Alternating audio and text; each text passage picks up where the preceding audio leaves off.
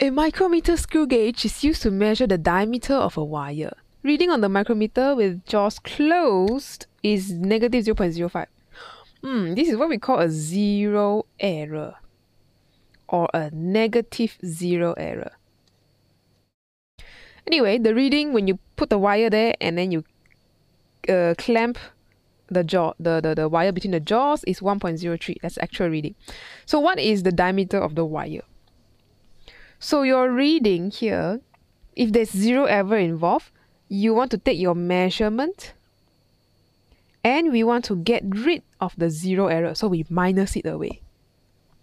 So in our case, the reading, the measurement is 1.03 millimeter, right? So we minus off the zero error. In this case, a negative zero error. Just minus only. Okay, so here you get 1.08, right? 1.0, yeah, plus 1.08 millimeter.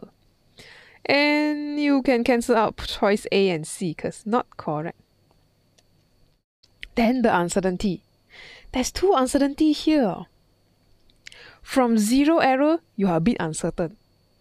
Then when you make your measurement, you're also uncertain. So uncertainty, wow, so much uncertainty you add together. Lor. And since these are all in the same units, millimeter, millimeter, you don't have to use percentage uncertainty. So the uncertainty in what we're measuring diameter, right?